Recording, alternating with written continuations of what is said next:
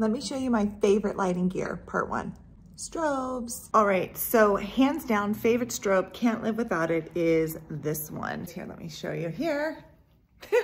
that works. Um, this is the FJ200 by Westcott. I'm obsessed with this light. It's small, it's not much bigger than a speedlight flash. It's super fast, it's light, it's battery powered, and this battery lasts forever, so you don't have to worry about like cords and all that kind of stuff. I'm obsessed with this light. I actually have three of them.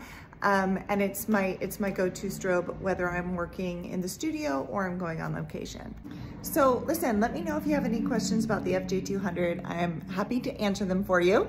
And be sure to follow along to learn all about my favorite modifier and why I use it the way I do.